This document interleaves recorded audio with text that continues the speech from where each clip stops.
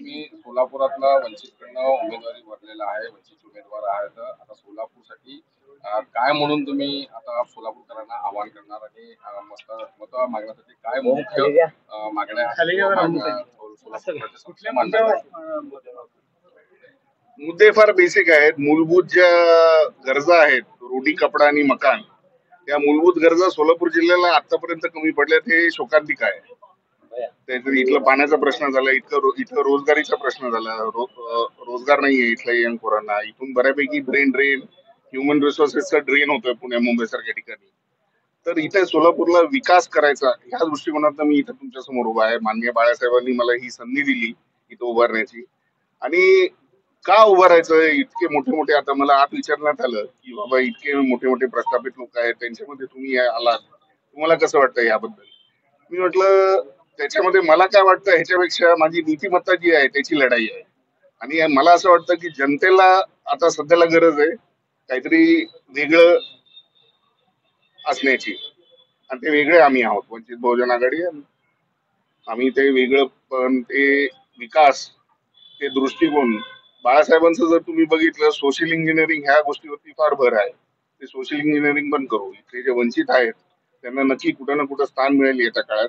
एवढी तुम्हाला शाश्वती ची प्रमुख लढत कोणाशी असेल आणि किती म- पाठीमागचं मताचे लीड तोडाल का किंवा काय काय स्वरूपात? आमची प्रमुख लढत आता सध्याची जर परिस्थिती बघितली तर आता काँग्रेस सोबत पण आहे आणि भाजप सोबत पण आहे. पण प्रामुख्याने आमची मुळ मुळात लढत जी आहे ती भाजप सोबत आहे.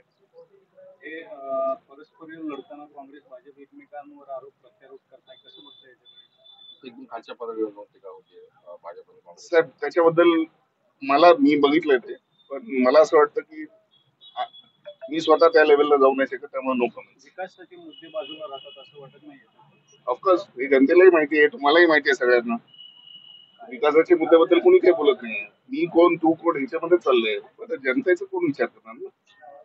भाजपची तुमची मुख्य लढाई होता. गेल्या वेळेस पण भाजपच्या अं, प्रकाश आंबेडकर लढत तुम्ही एक हा.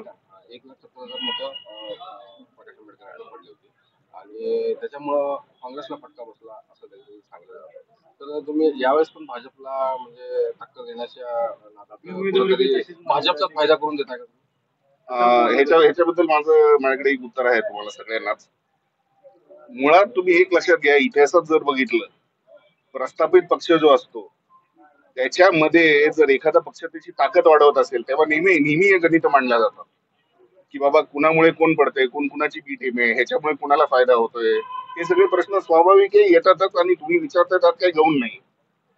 हे प्रश्न येतात पण तुम्ही एक लक्षात घ्या नवीन नवीन पक्ष नवीन संघटना नवीन धोरण हे जेव्हा प्रस्थापित लोकांच्या मध्ये जेव्हा जोर पकडायला लागतो जेव्हा त्याची व्यापकता वाढते तेव्हा प्रस्थापित लोकांना त्रास होतो आणि हा नरेटिव्ह बऱ्यापैकी पसरवला जातो की ह्याच्या ही बी टीम आहे ती बी टीम आहे तसं काही नाही आहे आम्हाला आमची ताकद वाढवायची आम्हाला आमच्या जनतेसाठी सेवा करायची. ज्यावेळेस प्रणिती शिंदे यांनी निवडणुका झाल्यानंतर म्हणजे वक्तव्य केलं होतं. सोलापूरच्या जनतेने आणि भक्तीची राजनीती अवलंबली आहे. म्हणजे रक्त म्हणजे डॉक्टर आंबेडकर यांना हम्म. बोलावं लागवलं होतं. आणि भक्त म्हणजे मोदी भक्तांना बोलावं लागवलं होतं. तर वंचित असू दे किंवा दलित बांधव असू दे भरपूर नाराज झाले होते. मग रक्त आणि भक्त असं कसं म्हणले? तर तुम्ही या वक्तव्याकडे कसं बघता? गेल्या होते गेल्या वर्षी ते गेल्या वेळेच्या ज्या शिंदेच्या वक्तव्यावर. रक्त आणि भक्त माझा अजेंडा सिंपल आहे. ते बाकीचं राजकारण ह्याच्याबद्दल मी कमेंट करत बसलो ना माझे विकासाचे मुद्दे जे आहेत त्याच्यावरती माझा फोकस आहे ते कुठेतरी राहून जातील.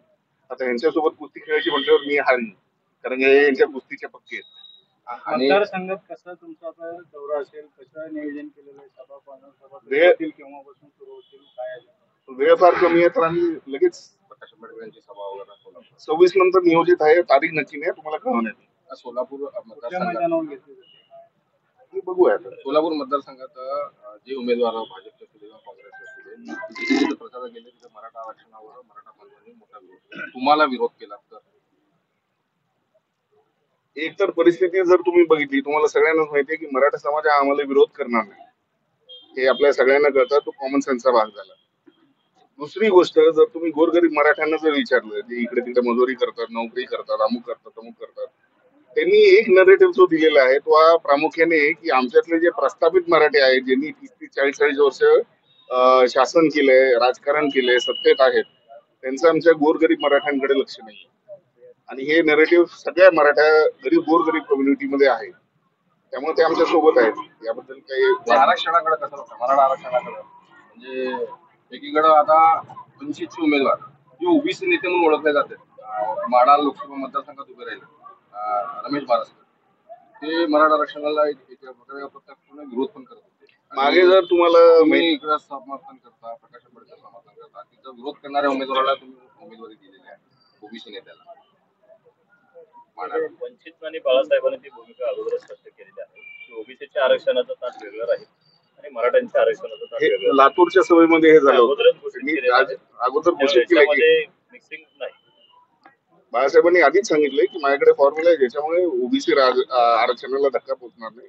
पण मराठ्यांना देता येईल. हे लातूरच्या त्यांच्या सभेत काही महिन्यापूर्वी जी झाली होती त्याच्यामध्ये आपण ऐकलं असं.